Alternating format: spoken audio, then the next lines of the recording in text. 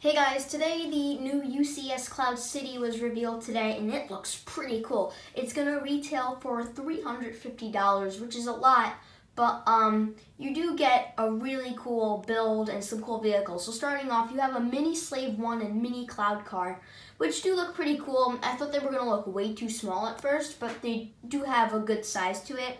Um, and you're gonna have a lot of minifigs in this set. You're gonna have Luke, Han with some really cool Corellian printing and some really cool dual molding legs. Like the new the new legs for Han look awesome. You're gonna have uh, Leia in her gown, but also in her Hoth outfit. C-3PO, Chewbacca, which is really disappointing. It looks like he's not gonna have a new mold for the backpack, which is kind of disappointing because I really wanted to have C-3PO on Chewie's back.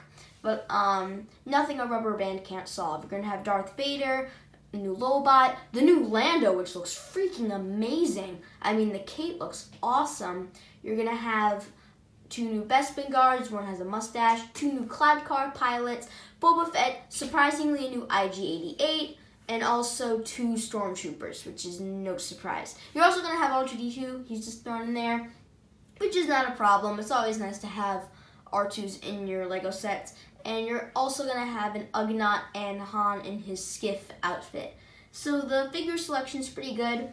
Um, and also the new uh, areas look pretty cool. You got the Han and the Carbonite block, and you can lower it down. The Carbonite uh, chamber looks way more updated um, and way more like finished than the actual Lego set um, from a couple years back. That one was really incomplete, but this one looks very nice. There's a new feature to lift Han up from the carbonite and switch it back and forth. The dining room looks really nice. The um, trash room or like the, the salvage room looks really nice. The um, the room, like the deck where Luke and Vader fight is really cool and the dock ain't half bad either. So overall this is a pretty nice set and I do have to say though um, Will I pick this up? Probably not. It's a bit too expensive, but I do like a lot of the figures in the set, and um, that's it for this video, guys. I will see you later, and make sure to subscribe and like the video.